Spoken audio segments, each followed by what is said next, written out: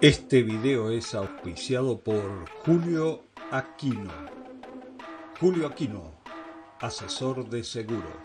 Solamente debes escanear el código QR y estás asegurado.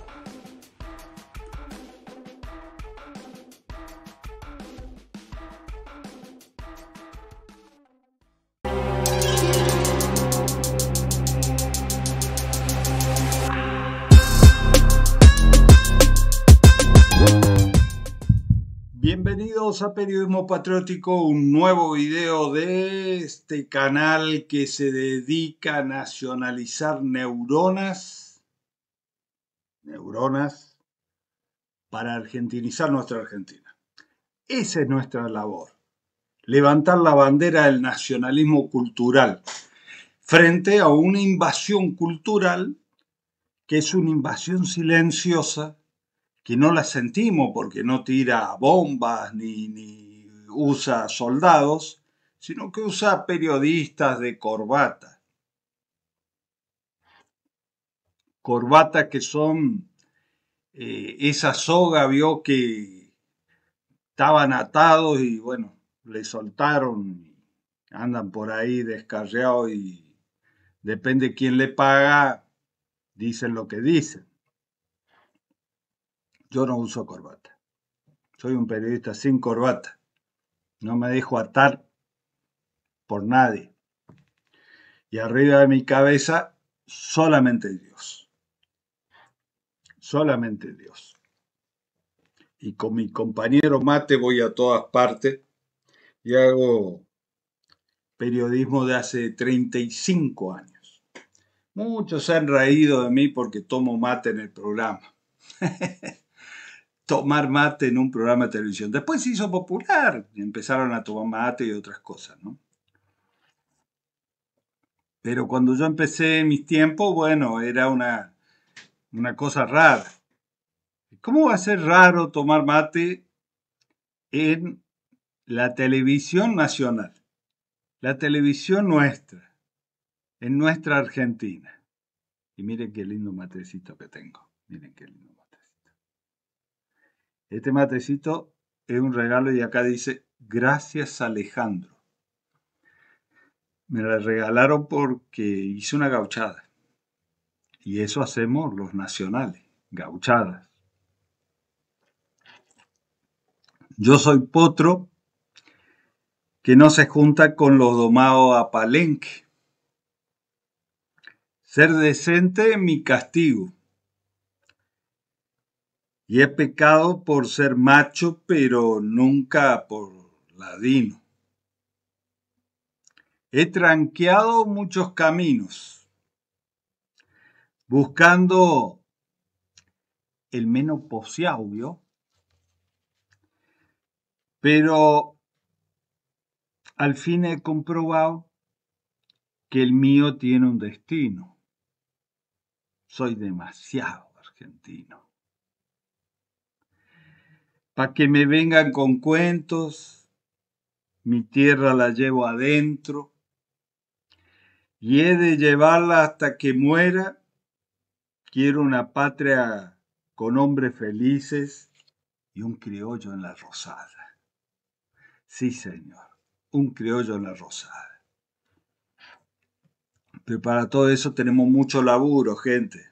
Así que hoy, en este canal, vamos a hablar con un criollo que no se dedica a la política, pero que hace una gran política, que no se dedica a la política, que no trabaja de, ni vive de la política, pero que hace una gran política, que es la de llevar a cada rinconcito de nuestra patria, y cuando te digo cada rinconcito de nuestra patria, del norte al sur, del este a oeste, de la cordillera al mar, hay una sede del IDAF. IDAF es el Instituto de Arte Folclórico Argentino, fundado por don Juan de los Santos Amores, un hombre de a caballo que a caballo iba fundando escuelas de danza folclóricas por todo el país.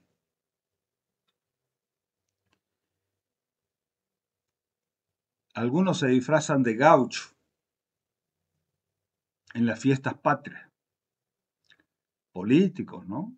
Que se disfrazan de gauchos, se ponen ponchos, ponchos rojos, como el de Güeme, y después van al Congreso y votan contra la patria. Y después asumen en un cargo y gobiernan contra los intereses de la patria.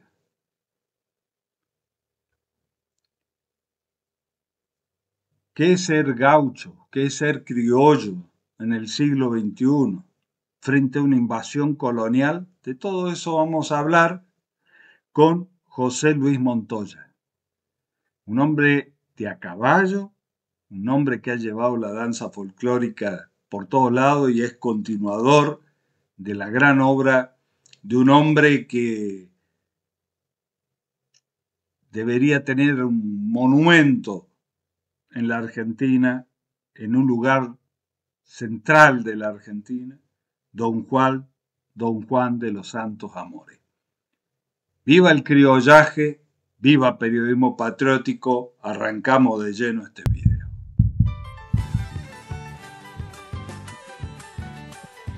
Bueno, bienvenidos a Periodismo Patriótico. Yo estoy con mi matecito acá porque vamos a charlar, pero de lo lindo durante unos 20, 30 minutos no más, porque los chicos vieron estos jovencitos ahí, no duran ni 5 minutos en los videos, pero acá hacemos Periodismo Patriótico. Hay que, hay que charlar de Ahí, exactamente, exactamente. Y quien habla es José Luis Montoya, un hombre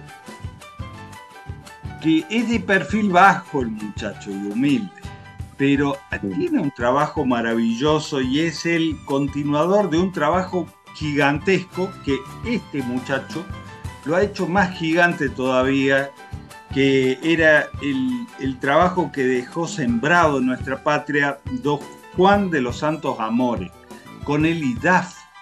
E, el símbolo del IDAF es la bandera, pero envolviendo a todas las provincias desde acá, donde estoy yo, en la frontera norte de la patria hasta el sur, y creo que se ha extendido más allá de la patria. ¿Cómo anda, don Montoya? Ah, qué lindo escucharte, amigo querido. Eh, es un gusto siempre conversar con vos, intercambiar ideas y, y, siempre estamos enlazando la defensa nacional, ¿no? Que es lo más importante. Así eh, es. Sí, ese mapa, ese mapa es una historia muy importante, muy linda. Ese, ese logo lo, lo, presentó una profesora que ya ha desaparecido físicamente del IDAP y don Juan lo aceptó como logo del IDAP porque en realidad es así, la Argentina envuelta en una cinta celeste y blanca, que es lo que hace el IDAP, ¿no? Abraza a todo un país, como tú has dicho al comienzo, es maravillosa tu, tu definición. Don Juan sembró la patria de palmo a palmo. Y como él decía, de donde vos estás, él decía, Formosa, donde, desde Clorinda, donde comienza la patria. Tal cual, tal cual. Es que aquí comienza la patria. Y para los que no saben, el IDAF es el Instituto de Arte Folclórico y está sembrado no en cada provincia, sino en cada pueblo de esas provincias. Es, es una siembra maravillosa enseñando nuestro folclore, nuestras tradiciones. exactamente, por cada rincón del país, pueblitos muy pequeños, lugares recónditos que no llega a veces ni el asfalto, el IDAP llega y, y muchas veces sabemos de que hay gente que es su único título que tiene y con su medio de vida, porque ahí pone su escuelita y trabaja, y, y, como decía Santos Amores, es un trabajo digno como el del panadero, como el del verdulero, como el del carnicero. Nadie, este, no molestamos a nadie y cada uno hace su vida a través de, de, la cultura nacional, que no es poca cosa, ¿no? Sembrarle a los niños jóvenes y, y no tan jóvenes a veces el conocimiento de qué es nuestra identidad, no se puede ser un, un, país sin nacionalidad, es muy difícil, porque es un pilar fundamental de nuestra, una pata fundamental de nuestra historia, de nuestra patria. Entonces...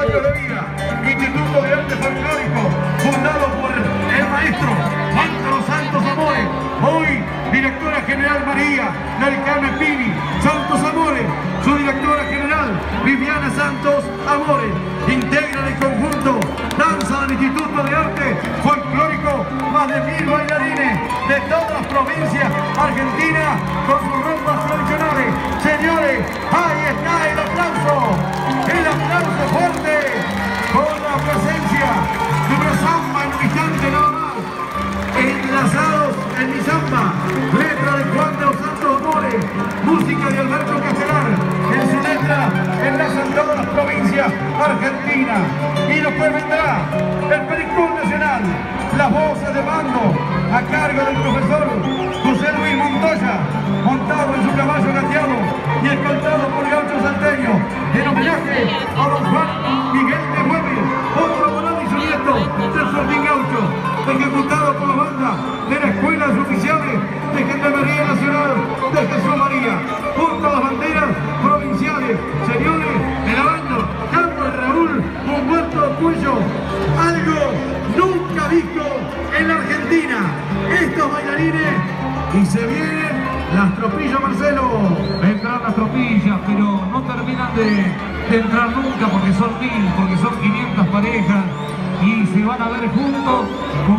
400 caballos de las tropillas de tablado. Algo nunca visto, como decía Mario Escurria. Y aquí estamos viviendo esto en las noches de Jesús María Mayor. La noche que se alimenta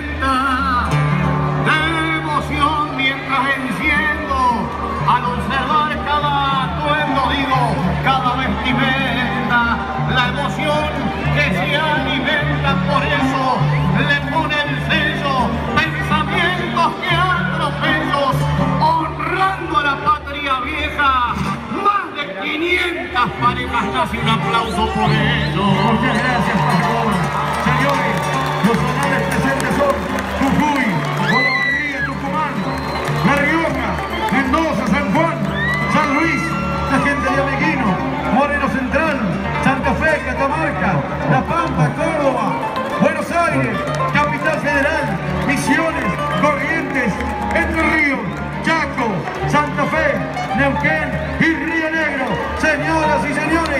hay que empezar a aplaudir.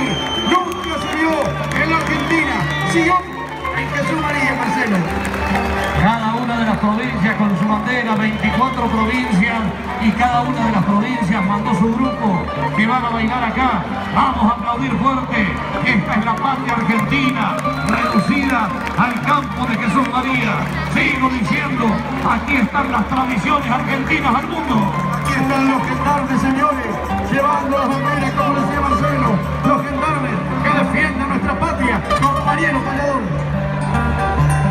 Y cómo no emocionarse, como usted así me lo expresa, en la noche cordobesa y de ese modo expresarse, sin duda para quedarse al mirar cada bandera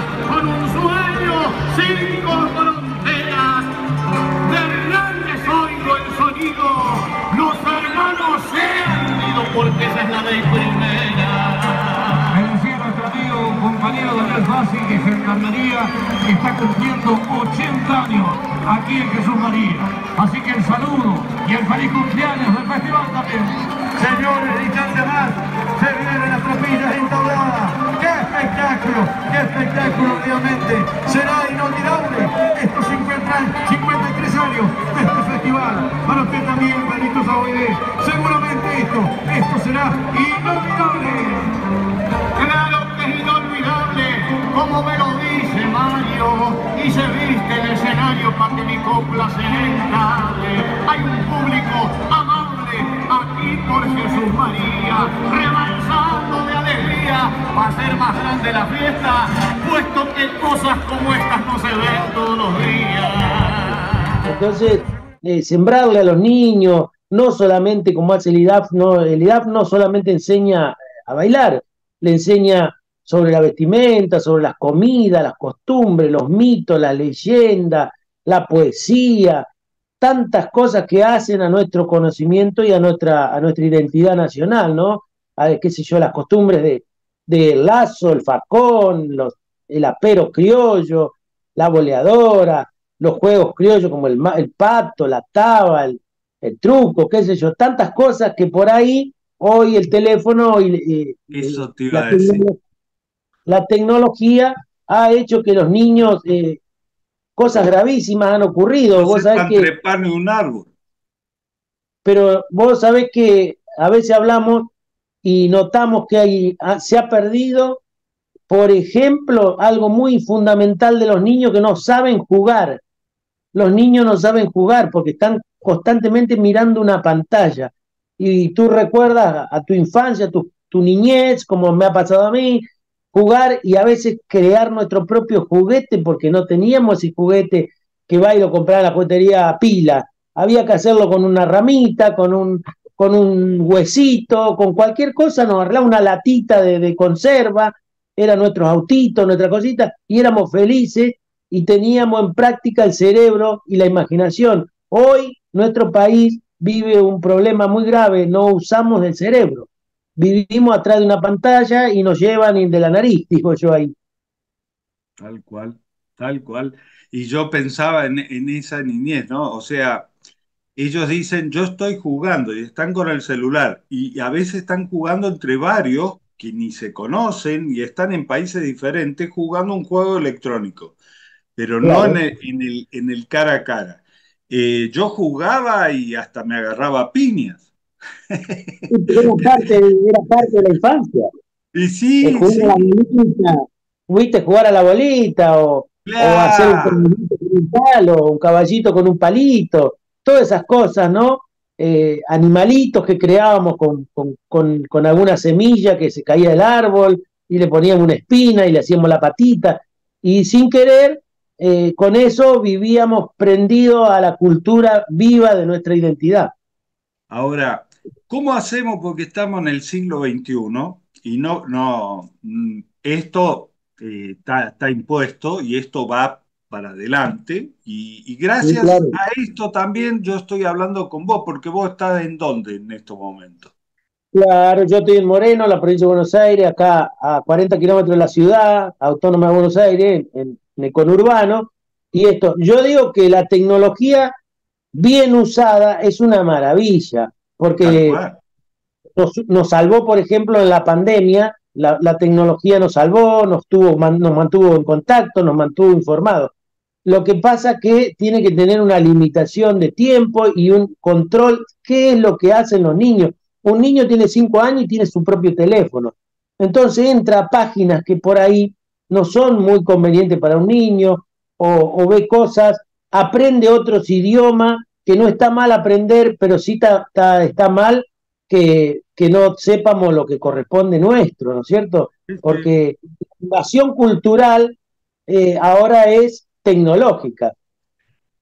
Y ahí también está el tema de, los padres, ¿no? O sea, la primera educación es en, casa, después la escuela. El IDAF participó en el tema de la escuela porque logró sacar una ley muy importante en la Argentina que no sé si se cumple. Claro, la ley 27.535, el 19, en el año 2019, el 20 de noviembre, mirá qué día, ¿no? Por algo habrá sido mm. ese día, a las 11 de la noche logramos que se votara la ley y la educación folclórica obligatoria en, los colegios, en todos los niveles. Pero duerme en un cajón esa ley y, no, hay, no hay todavía nadie que, que levante esa bandera y diga, eh, nuestros niños deben saber de todo, pero deben saber nuestra identidad para saber dónde quieren ir. No puede ir a ningún lado sin saber de dónde viene esa ley se va a descajonear el día que tengamos un, criollo en la rosada. Eh, como, dice, la canción, ¿no? Hasta que venga un criollo a gobernarnos. Hasta que venga un criollo a gobernarnos. Y el tema de, ser criollo en el siglo XXI, ¿qué es ser criollo en el siglo XXI? Bueno, mira, eh, el criollo, el gaucho, el paisano, eh, muchos dicen, no, el, gaucho ya no existe. El gaucho, es, eh, la palabra lo dice, la gauchada. Y, en los argentinos vive en la sangre de los argentinos la gauchada. Podemos estar, qué sé yo, a cualquier hora de la noche y nos golpean las manos. Y hoy por hoy está medio difícil la cosa en esta zona, especialmente en el conurbano, pero nunca está lejos nuestra posibilidad de ayudar a alguien que pide algo o un vecino que se le descompuso un familiar y uno agarra el auto y lo lleva. Y a veces por esas gauchadas también pagamos alguna picardía de algún pícaro, ¿no? Pero no importa, eso es el gaucho. Y vive, yo vengo de un pueblo muy, muy chico de la provincia de Buenos Aires, el límite de La Pampa, que se llama Florentino Ameguino, ahí este, mucho paisanaje, mucho criollaje, hoy queda poco ya, porque el avance tecnológico y el avance de la agricultura hizo que, el animal vacuno desaparezca bastante, que el caballo, el yeguarizo también, ya no hay manadas como había. Y claro, la soja hizo, hizo su trabajo y, borró a toda la tradición, la soja mató la tradición.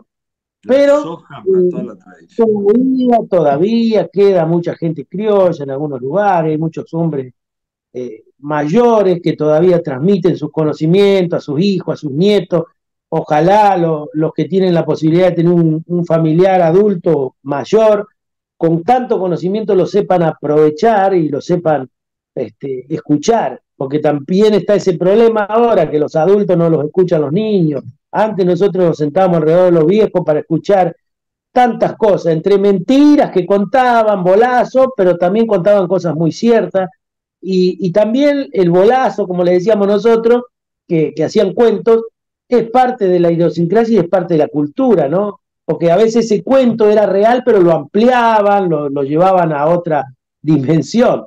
Este, pero yo creo que, que siempre va a existir en el argentino en el argentino no va a morir la sangre criolla, porque por, por más que sea, qué sé yo, en un encuentro de rockero, vos haces tocar una chacarera y la gente sabe que es una chacarera y le, y le mueve algo dentro de su interior. Quiere decir que siempre va por dentro de nuestras venas la, identidad nacional.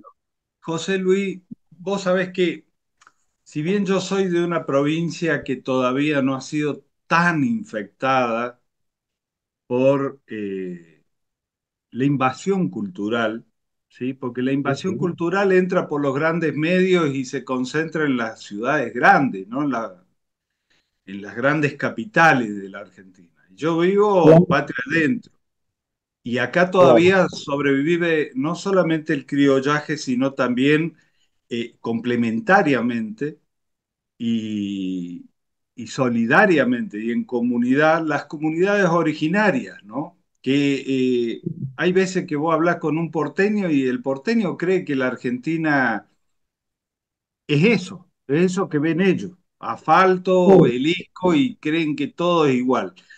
Y que incluso que hablamos eh, todo el mismo idioma o comemos las mismas comidas, y nada que ver, porque acá se habla cinco idiomas, nos vestimos diferente, vos podés identificar a las mujeres, las que son huichila, que son pilagá, las que son com, y ellos no entienden nada, los muchachos de esto, porque nunca anduvieron por, por este lado. ¿Viste? Creen que esto ya es cuento de libro y todavía existe en muchos lugares de la Argentina. Ah, exactamente. y, y, lo mismo ocurre con el gaucho, ¿no? Creen que, que, han desaparecido, que que hoy este, tenés que estar vestido a los catboy para, para hacer del campo y nada que ver. Eh, eso, es, el total Si yo llego a aparecer con, mi, con las bombachas que suelo usar, ¿sí? ya ni hablemos del sombrero que me han ridiculizado un montón por mi sombrero cuando me agarré con la nata y, lo, y yo andaba de sombrero, se andaba monte adentro me quemaba la pelada del sol formoseño. Imagínate cómo no voy a usar sombrero, por más que sea periodista. Acá los periodistas tenemos que usar sombrero. Escuchá, Alejandro, es que ahí está el tema, el desconocimiento total de por qué en cada región la usanza es distinta. Todo tiene un porqué. No es que vos te vestís con mi sombrero retobado ese porque viví en Formosa y porque queda lindo. Tienen un porqué por el monte, por la espina, o por la bombacha ancha en el norte, ¿por qué en el sur no es tan ancha? Y en el norte sí, o en el litoral, ¿eh? o, la, bota corrugada, porque adentro del monte hay un montón de peligro y de cosas que hay que tratar de, de, salvarlas, ¿no es cierto? Y ustedes que viven ahí la conocen mejor que nosotros, que, que por ahí la, la conocemos, pero no con tanta perfección. Y ocurre acá en la provincia de Buenos Aires, un montón de cosas, porque este, la bombacha se angostó tanto en, este último, en los últimos siglos. ¿Por qué? Porque el alambrado hacía que se enganchen demasiado la ropa, pero la bombacha ancha tenían unas explicaciones, no es que por compadrón el paisano se va a poner una bombacha de 20 tablas. Ahora, si yo aparezco por, por calle Florida, vestido oh, como, como a veces ando por acá, y dicen, mira, este se ha disfrazado, ha salido de... Claro, ¿sabe qué? a veces yo voy a la capital bastante seguido y ando vestido de gaucho porque salgo de un acto o vengo de acá de mi casa y me subo a la, a camioneta y me voy a la capital y me bajo en escena, en el obelisco, me bajo a la avenida Corriente, la avenida de Mayo y yo voy a lo que tengo que ir a hacer, a comprar algo, a, o a lo que vaya, como normal para mí, ¿viste? Pero veo que la gente te saca fotos como yo, mira, mira, como que es una especie, no sé, en extinción. Y no se dan cuenta, o que vos estás disfrazado y no se dan cuenta que los disfrazados son ellos, porque la ropa que tienen no es auténtica. Y, encima disfrazado de algo de afuera. Totalmente. Más inglesito yankee sea, más a la moda está. Y, después nos quejamos de la invasión, ¿viste? De la invasión. Así es. Eh, el, el, yankee, como le decimos nosotros a todo lo que es gringaje, eh, muy inteligente y se viene en manada, te va atacando por, por la tecnología, te va atacando por la vestimenta, te va atacando por el idioma. Hoy, hoy salí a hacer, una encuesta en dos cuadras de tu casa, una cuadra, cruzate con pibes jóvenes y preguntarle algo o decirle algo y no te va a decir sí, te va a decir ok. Claro. Está totalmente arraigado el ok, es constante. 20 veces en una conversación te dicen ok. Y a veces nosotros estamos este, tomando un examen o un preexamen o un control que estamos haciendo en, la, en las escuelas y lo pibes es normal. Vos le decís, este, que, no sé, cualquier cosa y en vez de La respuesta en celular es ok. Claro, entonces te dice ok. Y nosotros le decimos, discúlpeme, está este, dando un examen de folclore argentino. ¿Qué me dice? Ay, perdón, perdón.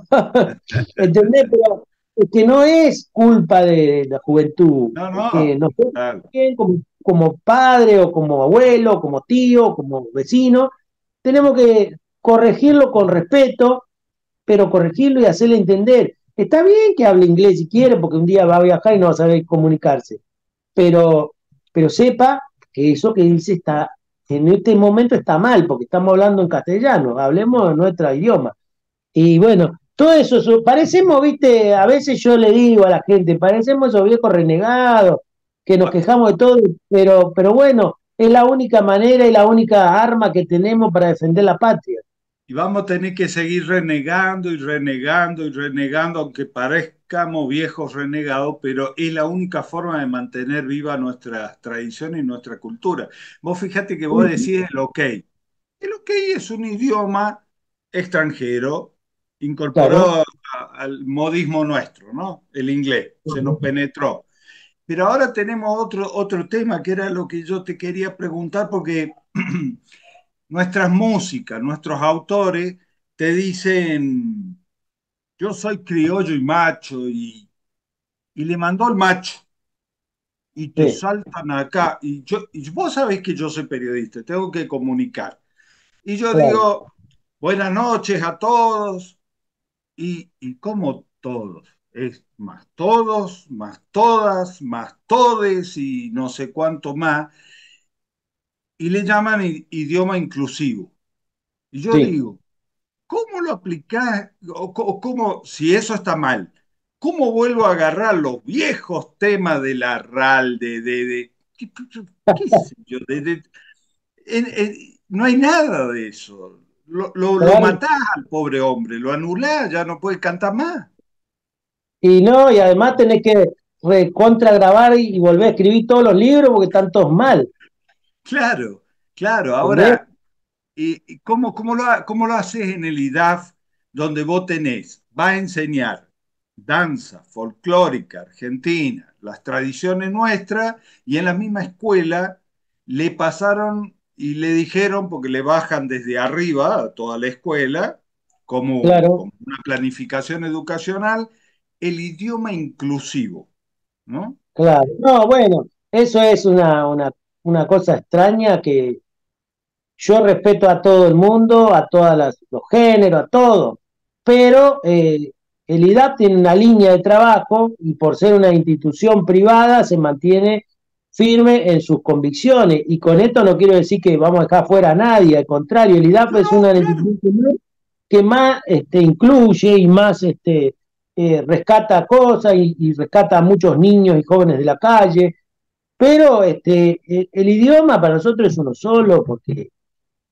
eh, así nos hemos, nos hemos manifestado toda la vida, así se ha liberado la patria con un solo idioma.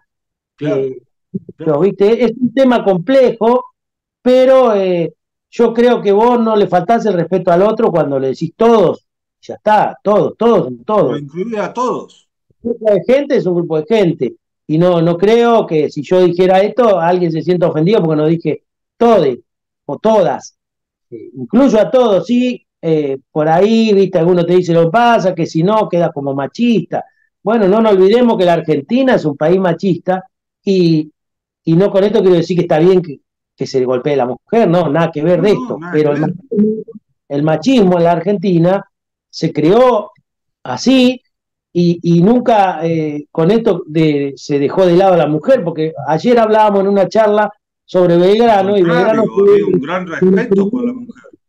Belgrano y San Martín fueron los primeros que, involucraron mujeres a los ejércitos, o sea que nunca la dejaron de lado, nunca la discriminaron, ni, ocurrió como todos te dicen, la mujer lava los platos y está en la casa. No, eso, eso es machismo, es otra cosa. Eh, pero, comparto con vos, todos, cuando nos dirigimos a todos, nos dirigimos a todos, al, grupo en general. Eh, ser decente mis castigos. He pecado por ser macho, pero nunca por ser ladino hay una canción que dice, ¿no? Y vos decís, no puedo sacarle la palabra macho a semejante verdad. Exacto, semejante. Y, y, tal vez el macho en otra parte tenga otra, otra connotación, pero acá tiene una connotación muy fuerte.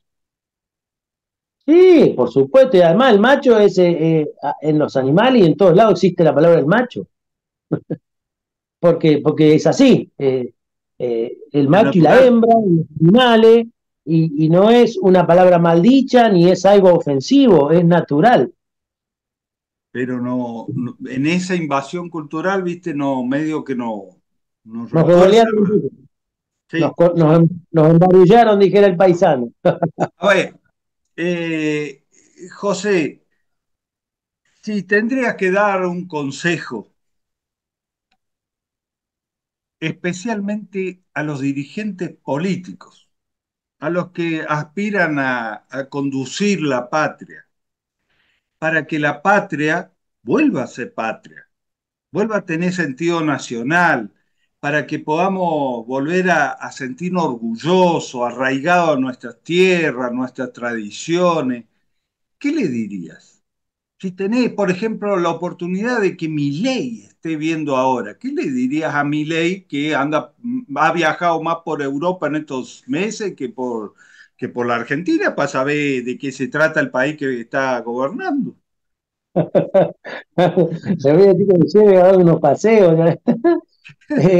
mira, lo político actuales y, no actuales, siempre eh, hay, no quiero de esto comparar una cosa con la otra porque no tiene ninguna comparación, ¿no? Pero, pero digo, yo siempre le reclamo a los políticos desde mi lugar y de mi, de mi, desde mi creencia como argentino, que escucho, pero desde que tengo uso de razón a los políticos hablar, a los que hacen política, arriba de los tablados, hablándole al pueblo, a la gente, a los que, a los que estamos abajo pero siempre en un discurso vos no encontrás la palabra cultura. No encontrás esa palabra. Hablan de todas cosas muy lindas, que a veces nos hacen muy bien a los argentinos, todo, pero yo creo que si vos no hablas de cultura, no hablas de educación, no hablas de salud, eh, no podemos ser un gran país, no podemos ser un gran país, porque nos va a faltar algo. Pero no lo digo como para que eh, pensando en mí, ni que me nombre a mí, ni que me llame y me diga, venga usted, asesóreme, no, porque no me interesa. Yo los aplaudo todo lo que hagan bien, le critico todo lo que hagan mal, pero yo tengo mi posición y hago la, y defiendo la patria desde mi lugar de hace mucho tiempo y creo que voy a llegar hasta que, me lleve la vida sin tener que, estar este, haciendo política, pero si un consejo sería, ¿no? Porque no soy quien para hablar con un político y decirle a usted tiene que hacer esto, pero si lo quiere tomar como consejo, a mí me parece que vos ante una masa de gente le hablas de su cultura y la gente se va a sentir este, involucrada en ese proyecto, porque la cultura es fundamental, no, no. Y ahí volvemos a decirte que la cultura no es solo la música, el canto y la danza, es mucho más amplia. Pero vos sabés Este, que es de- tenemos un problema. Vos hablas de cultura y hay algunos que están pensando en cultura Francia, Europa. Ellos son la cultura la- y no lo nuestro.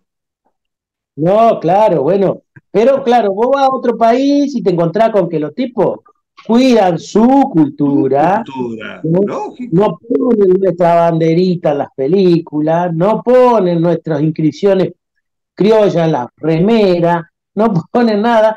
Entonces, si vos como, como político te plantás ante un montón de gente y le contás todas estas cosas así, cara a cara, porque el político está puesto ahí arriba por el pueblo y, tiene que ser representativo del pueblo, entonces tiene que decir lo que el pueblo quiere decir. El político tiene que ser la voz cantante de todo un pueblo, no lo que a él le conviene, o ir para donde va el viento, o irme a otro país para que me dé apoyo y hablo con todos los extranjeros, me apoyan todos, sí, pero no, los que están acá no te apoyan, entonces no te sirve. Vos tenés que tener todo tu pueblo atrás, si no San Martín o Belgrano no- o Güemes no hubieran liberado la patria si hubieran ido a decirle a los españoles que, que le, que le acompañe, que le dé plata, que, que le haga todo eso. No, señor, si no, ¿por qué se muere Güemes? Por ser hombre macho y no querer que los españoles le pasen el médico ni le pasen nada. Prefiero la muerte antes que estos españoles me toquen. Eso es ser patriota. Y hoy creo que los políticos deben trabajar fundamentalmente sobre la, sobre la patria en ese sentido, en el patriotismo. Hemos, hemos perdido muchos argentinos el patriotismo eh, no, no, no, nos, no nos moviliza el himno nacional, no nos moviliza Aurora, se perdió cuando íbamos a la escuela y era obligatoria, le, obligatorio izar la bandera y cantar Aurora, bajar y, este, la bandera y volver a cantar antes de irte a tu casa. Desde ahí comienza a un ser humano a ser argentino, en este caso hablamos en otro país, los demás que hagan lo que quieran, pero ahí es donde comenzamos a fundamentar nuestro cimiento, porque si nosotros no respetamos todas esas cosas, ¿qué, es como no respetar a tu mamá, a tu papá, a tu abuela, a tu Es que ahí, que ahí está el tema, es que eh, han llegado hasta colonizarnos la familia y no se respeta ni a la mamá, ni al papá, ni a la mesa, ni al abuelo, ni el consejo, que era lo que vos decías al principio. Ahora, el domingo pasado yo quise hablar con vos y vos, no sé, andaba a caballo, no sé por dónde. sí. ¿Dónde estabas? Eh, andaba por Salta. Por Salta. Bien. Brindándole homenaje al general Güemes. Ajá, a, a, caballo. No, este año no, el año pasado hemos ido a caballo. El año pasado fueron a caballo. ¿Cuántos kilómetros vos creés que tenés recorrido a caballo? y unos cuantos, eh, no, no te, con esto no te voy a decir que fui a Salta a caballo, pero, pero tengo recorrido en mi, en mi zona, en la provincia de Buenos Aires, Pampa, en La Pampa, Santa Fe, algún pedacito de Córdoba, que es donde nosotros tenemos nuestro pueblo cerca, y cruzábamos las fronteritas ahí de que estaban a 80, 100 kilómetros de un lado, 50 del otro.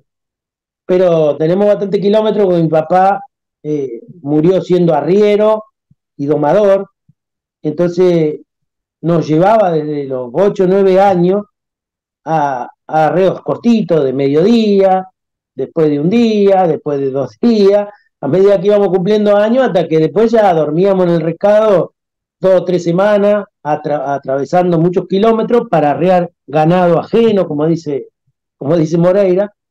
Eh, las vaquitas son ajenas, ¿viste? Las penas son de nosotros.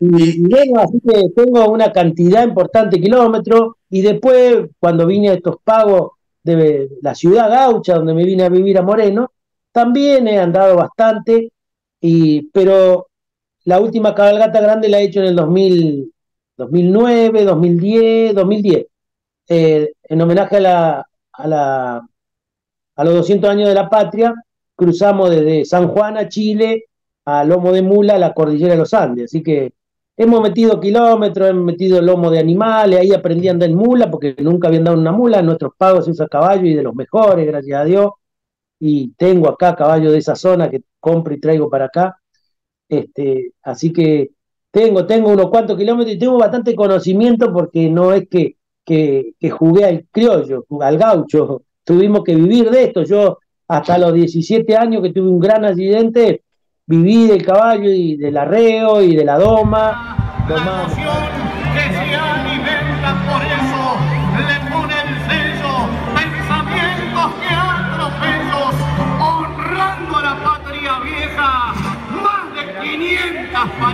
Un aplauso por ello. Y bueno, a los 17 años tuve un accidente muy grande con un caballo, muy grande. Dos años sin caminar, me, me quebró A la, la cadera, me aplastó entero. La cadera.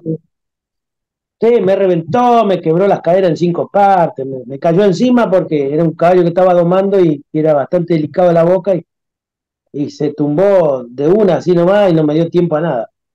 Así que bueno, ahí empezó mi relación más directa al IDAP porque tantos tuve dos años casi sin caminar, eh, pasé por la silla de ruedas, pasé por las muletas, pasé por un aparato ortopédico, cosas hasta que este, empecé a andar mi propio medio, entonces mientras tanto iba trabajando con mi hermana, con mi cuñado que tenía una escuela que se habían incorporado al IDAP y ahí conocí a Santo Amores.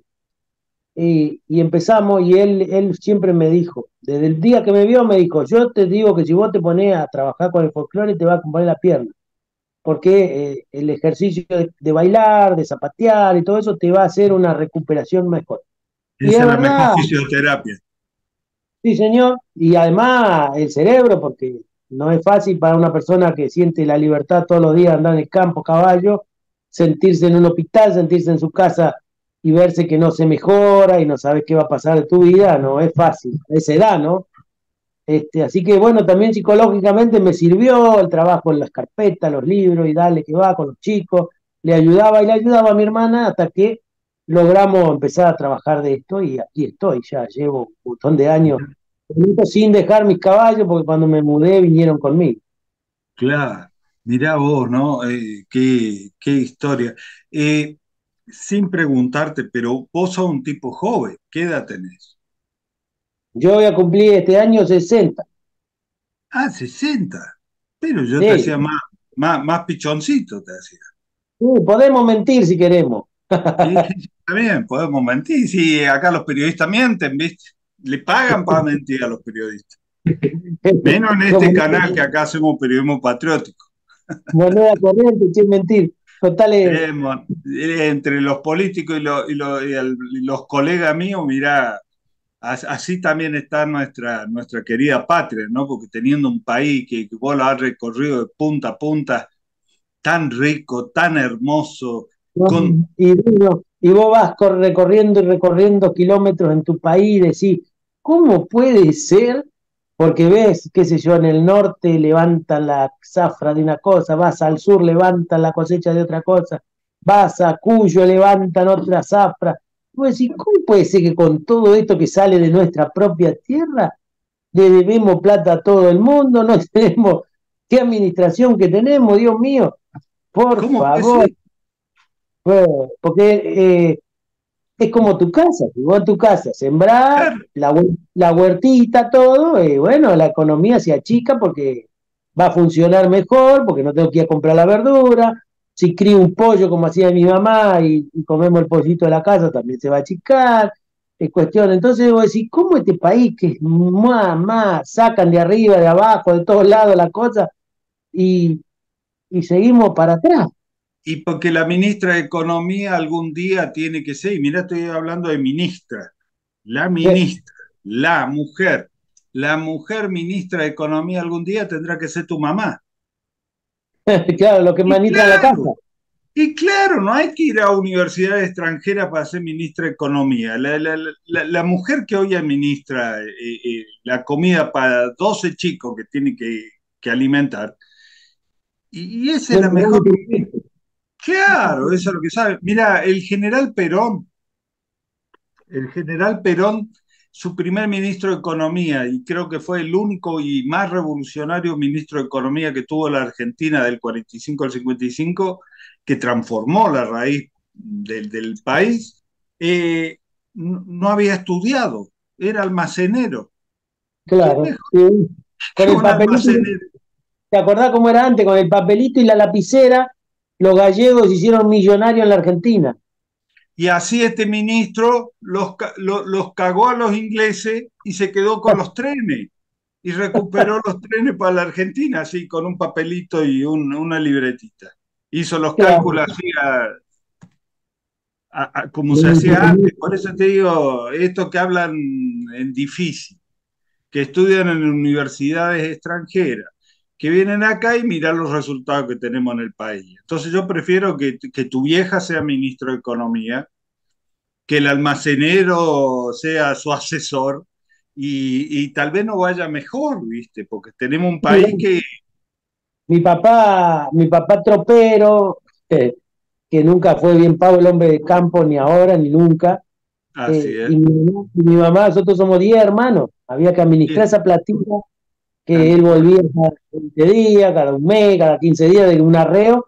Con esa platita tenía que aguantar hasta que venga y tenía que mantenernos a todos y fuimos todos al colegio y, nunca nos faltó el pan en la mesa, todos tuvimos ropa, calzado y en algún momento, se, no sé cómo hicieron, se compraron una casa propia. ¿Y cómo lo tratabas vos a tu papá? No, nosotros lo tratábamos con mucho cariño, no, no, no llegamos, ya había pasado esa época del usted, porque antes... Había pasado. Claro, pero nosotros, mi papá era muy cariñoso, muy, muy, muy, muy compañero, y más de nosotros que andábamos con él en, los caballos, porque era, era como un logro para él que otro más se sume al, al criollismo, porque por ahí podía ser que quería hacer otra cosa, ¿viste? Sí.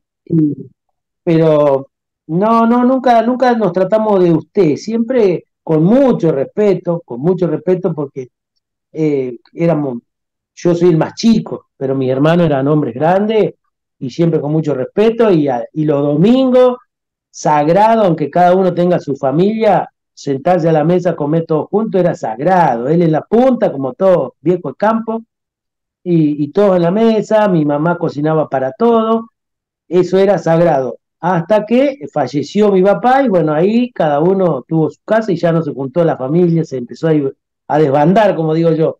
Pero antes había esa cultura de la unidad de la familia, eh, viste, que ahora no la vemos, viste, yo me tengo que llamar dichoso, tengo dos hijos y todavía tienen más de 30 años y todavía andan conmigo para todos lados, todavía se sientan a comer con nosotros, todavía van de vacaciones conmigo, este, así que me tengo que llamar dichoso, pero también va en como vos los vas criando, los vas educando y los vas dejando volar sin cortarle la sala, pero con una guía, ¿viste?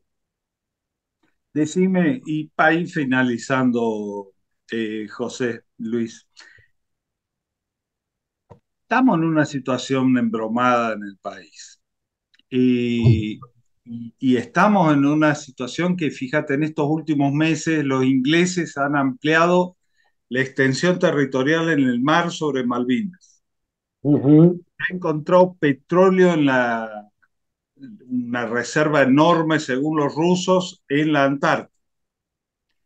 Sí, bueno, tengo, mirá, tengo unos amigos combatientes acá de Luján, muy amigos, a cuales inauguramos el otro día, reinauguramos una sala maravillosa. Eh, el querido Julio Mena al frente, combatiente, y estamos ahí juntando firmas en una gran lucha porque él está viajando cada 15 días a Ushuaia, porque han puesto un radar. La radar inglés. ¿eh? Un radar inglés el cual eh, la gobernadora o el gobernador de, Ushuaia niegan que funcione.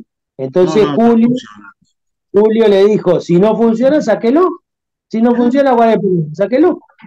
No lo quieren sacar. ¿Por qué no lo quieren sacar? la luz. Le llega la luz, si le llega la energía. Claro. Entonces, viste, es complejo, muy complejo. Eh, eh, a veces qué sé yo, volvemos a, no, no me gusta hablar de política ni me gusta hacer política, pero te digo que... Yo sé, pero como criollo, ¿qué sentís? Indiferentemente, eh, también te digo que aquel que dice que no hace política es mentira, porque desde que te levantás en tu casa hace política de alguna manera.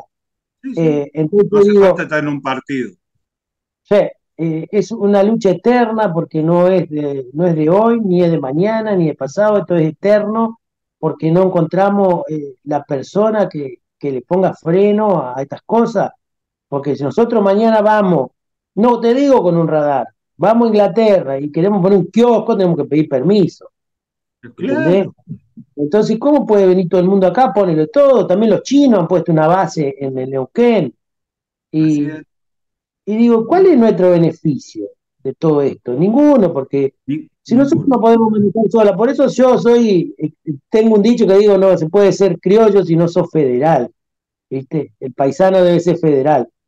Y, por eso admiro y recontraadmiro la, la ideología de Juan Manuel de Rosa, cuando le tuvo que cerrar la puerta, se la cerró, listo muchachos, no vengan más, no hay problema, acá no vamos a arreglar solo, hizo los saladeros, guardemos, ya van a venir, ya van a venir. Acá está la comida, y fíjate vos que ahora que me lo nombrás a Rosa, nosotros sacamos rajando a los ingleses y a los franceses del río. Claro, y con tan poquito, con poquito nomás, ¿eh? Y con eh, poquito. con, sangre vendría a ser como la OTAN ahora, toda en esa época. Tienes que venir un día, un 20 de noviembre, a, San Pedro, al pie del monumento de la Vuelta Obligado. Ahí hacemos hace un tiempo largo un acto con unos amigos del Instituto Dorrego y el Instituto Rosa, y es un momento que por ahí a veces, y lamento a veces somos pocos, ¿viste? Porque debería ir todo el mundo, debería conocer esos lugares donde muchos argentinos con un solo, con un solo objetivo, defender la patria, no le importó de dar la vida, frenaron ahí la invasión, la, tercera invasión inglesa. Porque, y los franceses. Fíjate, fíjate vos lo que me estás contando, y hoy ese río es inglés porque fue privatizado. Está a cargo de una empresa de falsa bandera belga y detrás están los ingleses. Y ahora se firmó un convenio para que el Comando Sur de los Estados Unidos controle nuestro río. Mirá si, si nosotros podemos controlar Mississippi.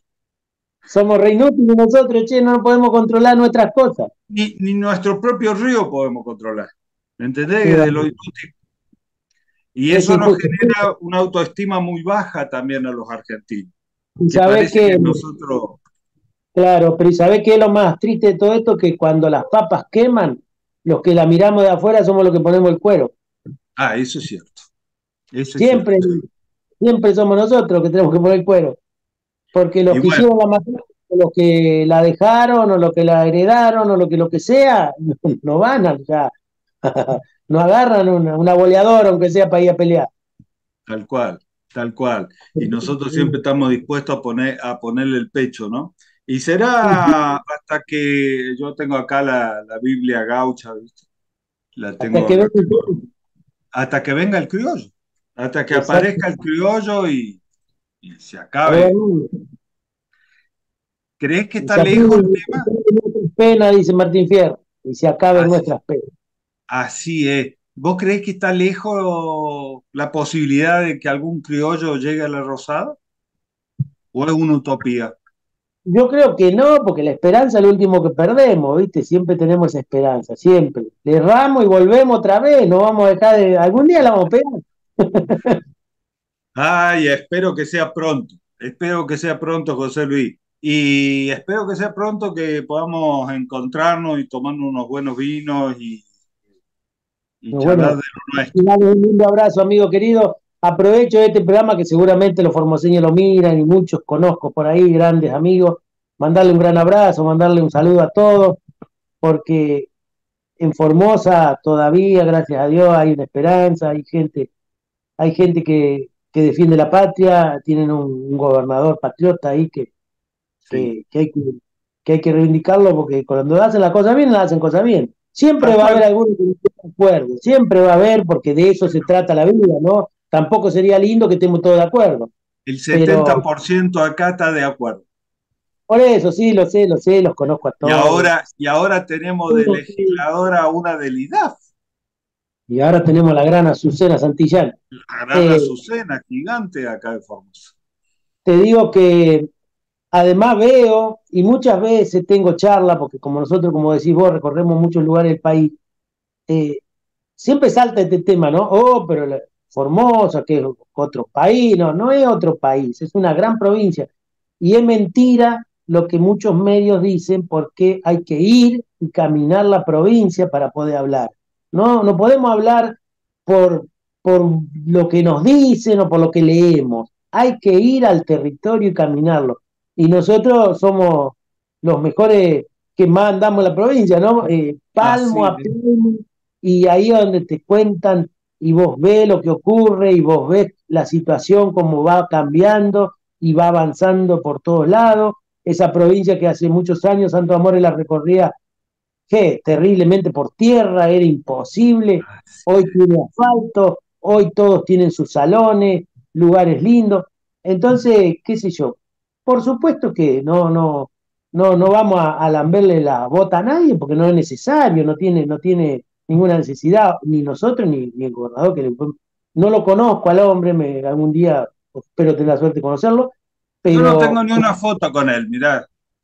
Soy periodista de acá, reconocido, no tengo ni una foto con Infram. Y, no, le debemos nada, no, no, no vivimos de él, pero hay que reconocer cuando un hombre hace Exactamente, no es que lo hago para lamberle la bota o para sí, no, porque lo pasa es que soy amigo, ¿no? no necesita eso acá. Pero sí sé que, que, lo que la provincia avanza y avanza es real, ahí no hay, ahí no hay cuento. Lo que pasa es que si yo voy y miro la televisión. atacan los medios eso. Claro, lo que pasa es que molesta porque es una provincia que la que deberían tomar ejemplo un montón de provincias. Ese es el problema. Bien, como viven ustedes ahí, y mirá si todas las provincias se manejan como con su propio, con su propio peculio, no tendrían que andar preguntándole nada a nadie y capaz que por ahí enderezamos el carro más rápido. ¿Entendés? yo, yo creería que sí. Porque si todas las, todas las provincias están sentadas esperando que la, nación lo solucione, no. Ahí hay que arreglársela con lo que tenemos y si viene la ayuda, mejor para avanzar otras cosas que es necesaria. Pero, pero cada provincia tiene su riqueza y maravillosa, ¿no? No digamos porque sabemos que es así. y, guarda, guarda con la venta del territorio porque vienen por el agua. Guarda con el agua. Sí, sí. Guarda con el agua. Mientras tengamos a este hombre o a esta o continúe este modelo en el cual vivimos nosotros, todo eso está protegido por ley incluso, no se puede vender ni un charquito de agua. Pero claro estamos frente a una invasión silenciosa, le llamo yo, porque no vienen con cañón y con tanque, pero vienen... Sí, además, eh, Alejandro, además es llamativo, ¿no? Estamos fundidos, no tenemos nada. ¿Y por qué quieren venir si estamos fundidos? ¿Para qué queremos una chacra fundida? ¿Entendés? algo de verdad está escrita. y algo debemos tener. Eh, querido José Luis, eh, ha sido un placer poder charlar con vos. Saludo a la patrona ahí, eh, que, es la, descendiente directa de Don Santos Amore y a, quien, a quien se debería estudiar en todas las escuelas, porque realmente ese hombre ha dejado todo y bueno, vos sos un heredero de, de él legítimo y con eso que me contaba del accidente tuyo realmente es eh, asombroso. Y, me, me, gustaría que, que los políticos, porque yo sé que vos no, no, sos eh, candidato a nada ni nada de eso, pero los que se candidatean, que hagan la mitad de camino de lo que vos has hecho, pero escuchando a nuestro pueblo sintiendo a nuestro pueblo, tierra adentro, para poder transformarla, porque si no, no sé cómo vas a transformar algo que no conoces. Y es muy difícil, es muy difícil, es muy difícil. ¿Cómo vas a defender algo que no conoces? Además, de, hablan de tanta pobreza a veces, pero vos no sabés lo que te enriqueces relacionándote con la pobreza, porque eh, la pobreza es maravillosa, porque a veces no es no es una pobreza que la gente la sufre, ellos son felices con muy poco. Con muy poco. La felicidad, no es el dinero, es otra cosa. Es muy lejano al dinero. Y, pero para conocer esa felicidad hay que conocer a la gente humilde, trabajadora, de familia, sencilla, nada raro, con una mesita y un platito y con ver lo que hay arriba de la mesa y esas charlas hermosas. Y ahí podés encontrar el hilo de aquella madeja enredada que dijo Perón una vez, que esta madeja está enredada y nadie la va a desenredar. Mi abuela decía, lo suficiente es suficiente. Mientras tengamos lo suficiente, que es techo, comida, lo que necesitamos es suficiente. Si hay más, bienvenido sea, pero lo suficiente es suficiente. Exactamente, pero y tampoco la gente humilde es ambiciosa, Alejandro, porque vos este, le comprás decir, ¿por qué no cambia la cocinita esa leña? No, ¿para qué si yo me arreglo bien con eso? ¿Para qué voy a gastar si la leña la tengo acá en el monte? No voy a ir a comprar una garrafa a 100 kilómetros. y, a lo que, y a lo que sale ahora la garrafa. Claro, entonces hay un montón de cosas que, que, no, que no se conocen y entonces no podés abordar ningún tema si no lo conoces palmo a palmo. Te agradezco tu entrevista, querido amigo, te mando un gran abrazo, un cariño a tu esposa. Eh, me contabas que perdió su familia, su mamá, así que le, mando un gran abrazo y la acompaño en este momento difícil, que ya hemos pasado algunos por eso. Este, y te, agradezco siempre tus palabras y tu reconocimiento, fundamentalmente a don Juan, un hombre que ha dejado marcada una huella, pero impresionante, eh, marcada a fuego en la cultura nacional. Así es, así es, y que no lo podemos eh, perder en el ok. Sí, señor, sí, señor. un abrazo grande, que Dios nos bendiga y que viva la patria. Buen fin de querido. Y así con los mates, como empecé, termino. Qué lindo es haber hablado con José Luis Montoya. Porque él no anda juntando votos. Él no hace esto para hacer, tener un puesto o vivir de la política. Él, tal vez sin saberlo, hace política, de la política de verdad hace y lleva la cultura, el nacionalismo cultural a cada rincón de la patria. Han presentado y la han hecho ley, una ley que no se cumple, que es la de la aplicación de la ley de enseñanza en todas las escuelas de nuestras danzas y nuestras tradiciones folclóricas. Y claro, ¿cómo se va a cumplir si estamos gobernados por alguien que se siente inglés? o israelí, que no tiene nada que ver con nuestras tierras, con nuestras tradiciones, con nuestras costumbres. ¿Qué se puede esperar?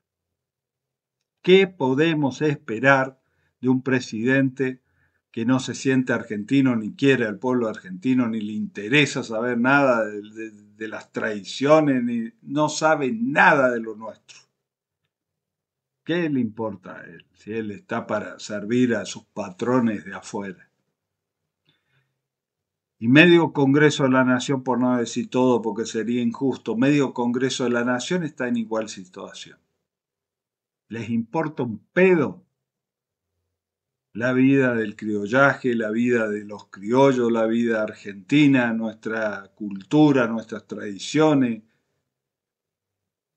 nuestra soberanía, que es lo más importante, porque si perdemos la soberanía patria o perdemos el territorio patria como, como ellos quieren, y están votando para que lo perdamos, bueno, ¿qué vamos a pretender de que exista cultura o tradición si la patria fue vendida?